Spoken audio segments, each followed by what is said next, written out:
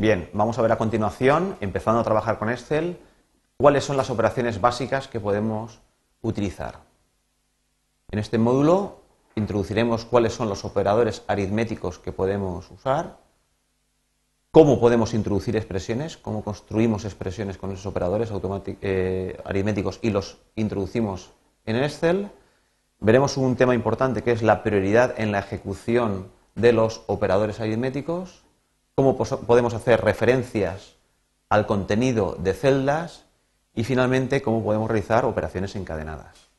Bien, volvemos a nuestra hoja Excel y, por ejemplo, sabemos que podemos tener eh, pues, unas cantidades eh, numéricas, 509 y 308 respectivamente eran tornillos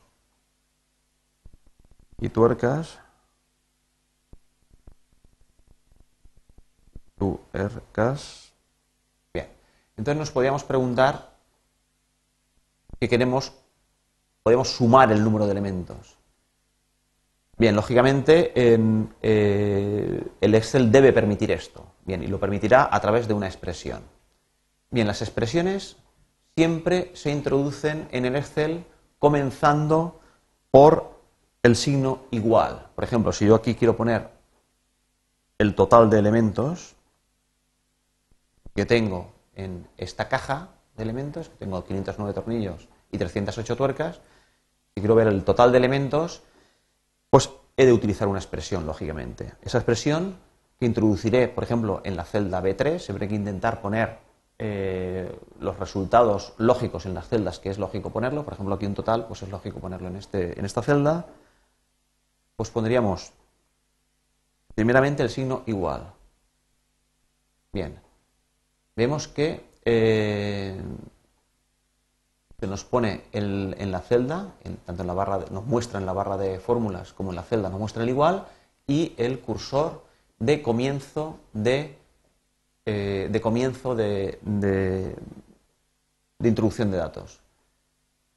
Bien, aquí es donde nosotros podemos ver una de las primeras fortalezas del Excel. Y es que si nosotros tenemos datos numéricos almacenados en las celdas del Excel, podemos hacer referencia a esos datos numéricos. Por ejemplo, 509 yo no tengo que teclear aquí en el total 509, sino que directamente puedo hacer referencia al número 509 que reside en la celda B1. ¿Cómo lo ponemos esto? Pues lo ponemos precisamente escribiendo B1, por ejemplo.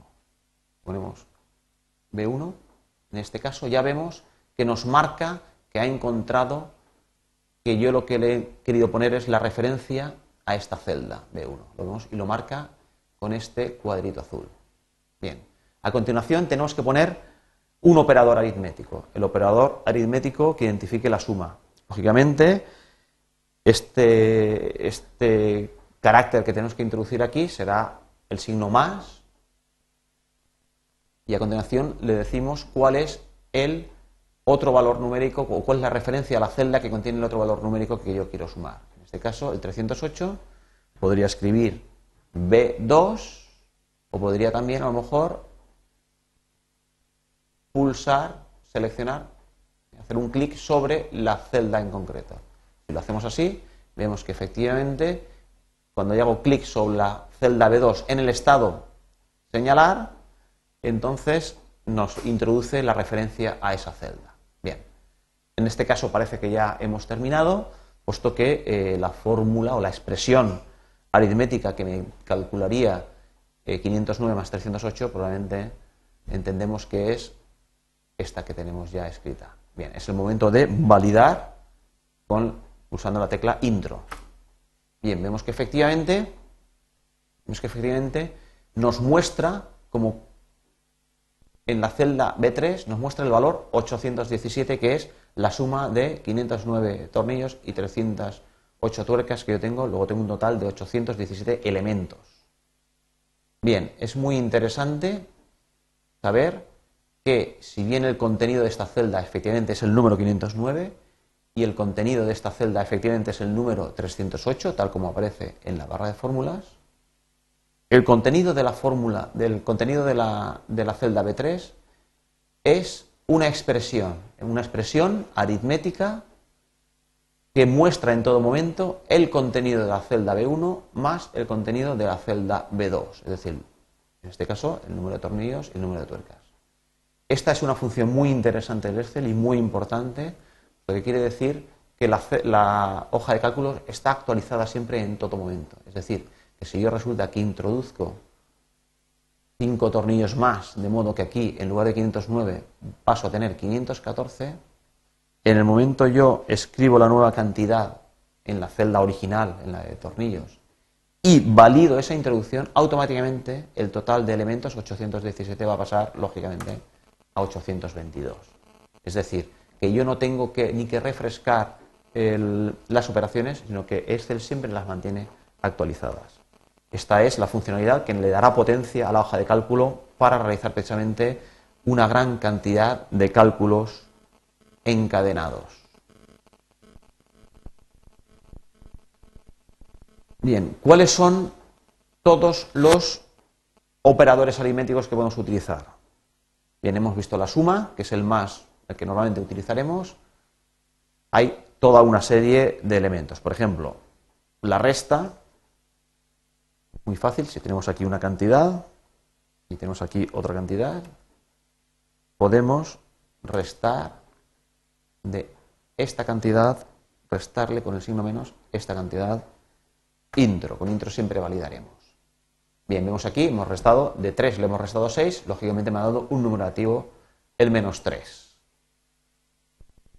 Bien, otros, otros eh, operandos aritméticos por ejemplo, podríamos eh, sustituir esta fórmula por, igual, para introducir una, una expresión aritmética, el 3, este número, multiplicado, el signo de multiplicación es el asterisco, por el contenido de esta otra celda. Vemos que es 18. ¿De acuerdo? La división es parecido. Tenemos un valor, el 18. Tenemos aquí otro valor, el 9. Podemos aquí la expresión que divide 18 partido, es la barra, mayúscula 7, por este otro valor. Intro. Vemos que es 2 correctamente. Lo más interesante, hemos comentado que siempre, siempre, siempre, siempre está actualizado. De modo que si yo 18 en lugar dividido por 9 lo divido por 6, introduzco aquí un 6, en el momento introduzco un diferente divisor, en este caso concreto, el resultado va a ser diferente. Bien.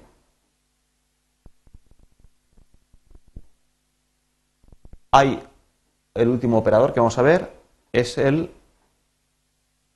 la potenciación. Si tengo un número, por ejemplo el 2, y aquí otro número, el 3, puedo elevar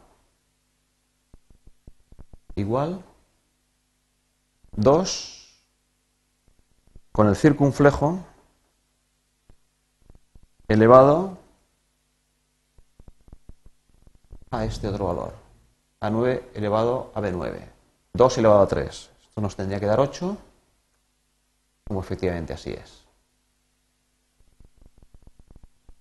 Bien, hemos visto entonces que tenemos una serie de operadores aritméticos y que podemos con ellos realizar expresiones. Hemos visto el operador suma, el operador resta, el operador multiplicación, el asterisco, el operador división, la barra y el operador exponenciación, el circunflejo. Bien, en todos estos casos estamos realizando, hemos visto el ejemplo de la realización de operaciones básicas entre dos elementos. Estos dos elementos, en todos estos casos, ha sido la eh, ha sido el contenido de otras celdas. Bien, nosotros podríamos realizar cálculos más complejos en los cuales tuvieran lugar o tuvieran eh, importancia otros valores, no solamente dos en concreto. Por ejemplo, esta fórmula la podríamos modificar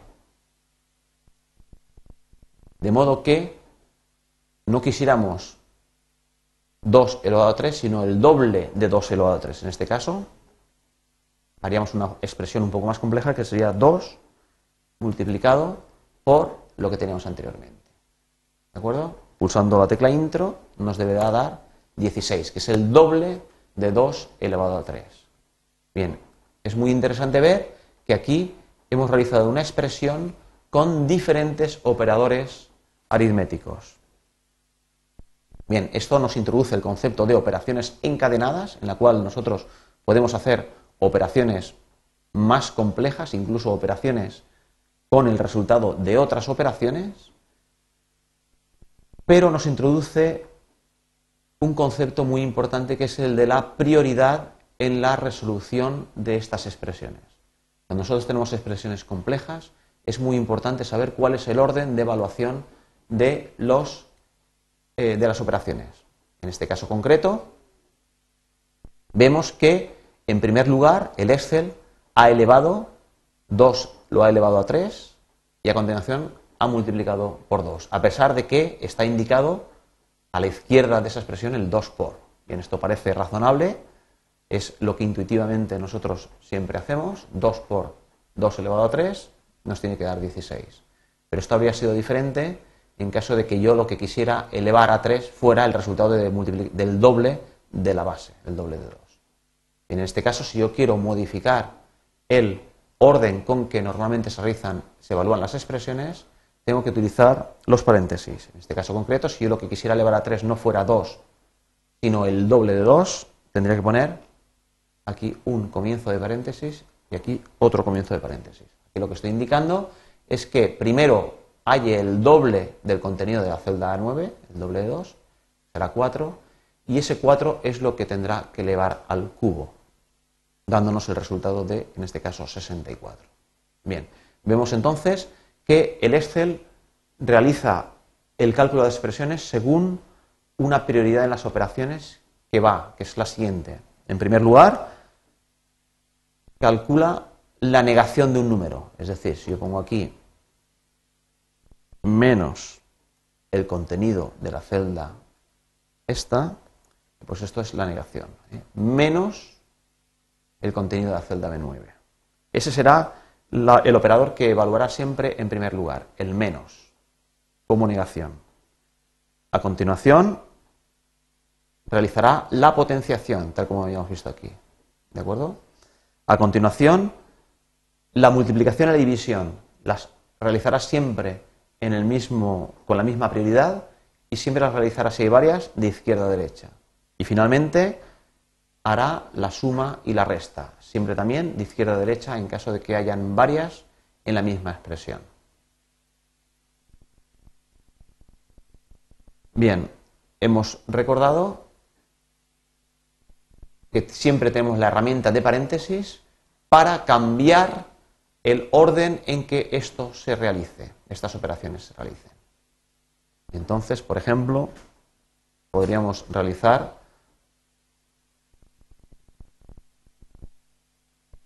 una expresión compleja, por ejemplo, igual a 1 más 2 elevado a 3 y multiplicado por 4. Bien, en este caso, bueno, vamos a poner, le restamos 5.